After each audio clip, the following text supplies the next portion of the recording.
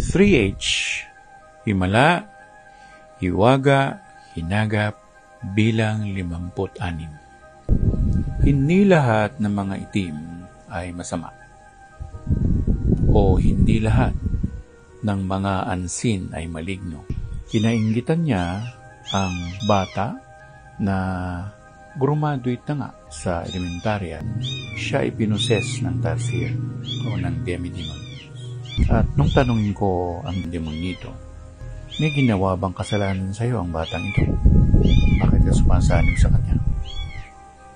Ang sagot niya, wala. O bakit mo siya pinag-iinteresan? Bakit mo siya tinatarget? Ang sagot lang niya, naiinggit ako sa kanya. Kasi meron siyang nanay, meron siyang tatay, meron siyang kapatid. Mahal siya ng mga ito. Ako walang nanay, walang tatay, walang nagmamahal sa akin. Eh, ang sagot ko naman sa kanya, eh hindi ka naman tao eh. Di ba? Sabi ko, lumabas ka na. Sige, doon, doon ka. So, ang sabi ko sa isipan ko, ano kayang gagawin ko dito sa nilalang na ito? At tinawag ko ang Panginoong Isus. Sabi ko, Panginoon, ibang sitwasyon na naman po ito. Anong gagawin ko dito? Hindi ko naman, hindi ko naman kayang o hindi ko maatim na gawa ng masama ito. Pero babalik pa rin to at maaaring ang saniban niya muli ang nasabing bata. Panginoon, pwede po bang makisuyo sa inyo? Kayo na po ang bahala sa kanya. At dinala ng Panginoong Isus ang demonito sa malayong lugar.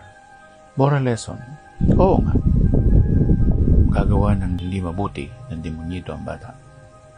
Pero hindi iyon pasaporte para patayin siya meron siya sariling buhay. Gaya ng itong nangyari kay Satanas. Kayang patayin ng Diyos si Satanas. Pero sinumpala niya, hindi naman niya binawian ng kapangyarihan. Bakit kaya? Mayroong kasing sariling papel na gagampanan nito sa tinatawag na human salvation. Ang istorya ng tao ay masalimuot. Ang istorya ng mga demonyo masalimuot pero, sa daigdig ng katalinuhan, hindi mo pwedeng sabihin na ito ay tama, ito ay mali.